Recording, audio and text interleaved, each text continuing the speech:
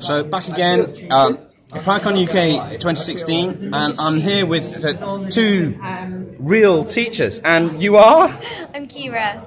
Kira. I'm Laura. Okay, fantastic. and um, what exactly have you been doing this morning in this session?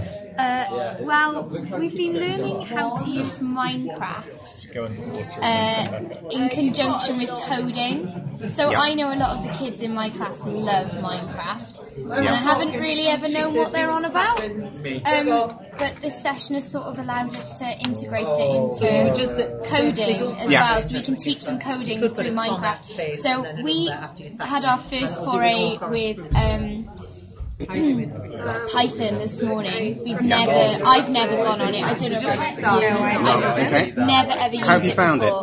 I mean, um, it was quite difficult at first because it was it was brand new. Yeah. But um, this these sessions have sort of helped us get to grips with it. So I know now that if I change that from stone, I hope this works now. It's going to be Okay, really, this is live coding. live coding.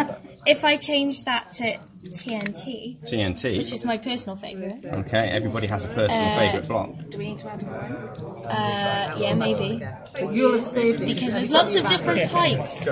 Is that why? I'm adding one because there's lots of different types of TNT and I'm going for the first type. If I press run, oh please let this work. Hooray!